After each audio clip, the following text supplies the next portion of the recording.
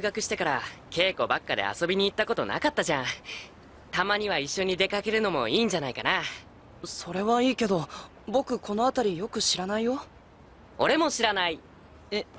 大丈夫。じゃーん。これ持ってきたから。かっこいい男の街歩きガイド？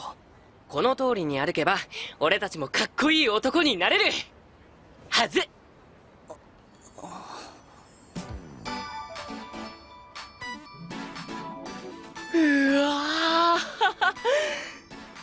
て来てナイキ人がゴマみたい。星谷君こういう高いところに登ったの初めて？うん。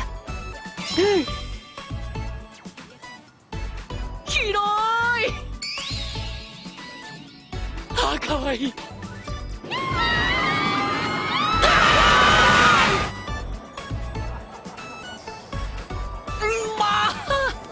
あの星谷君。おナユキ楽しくない？そんなことはないんだけど。よかった。えー、っと次のおすすめスポットは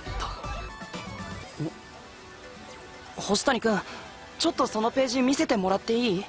え？あいいけど。やっぱり。ん？カップル向けのデートコースって書いてある。え？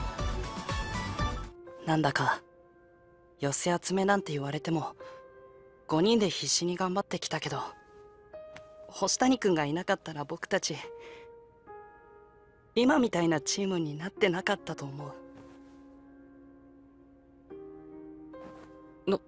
なゆき？ごめん。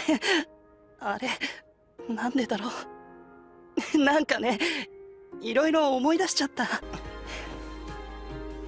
僕ね本当に本当に星谷君のことが大好きなんだ。俺も俺もナユキやみんなが好きだ。